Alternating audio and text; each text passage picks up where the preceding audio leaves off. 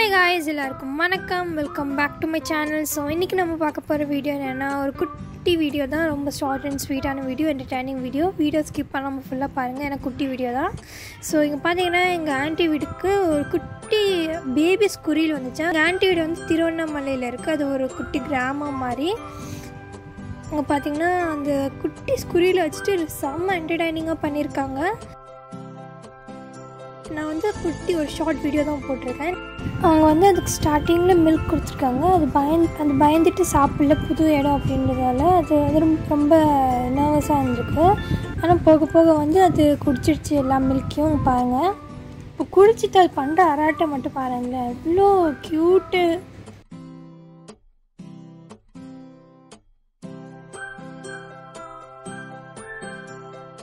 So அவ்வளோதான் இது ஒரு குட்டி வீடியோ தான்.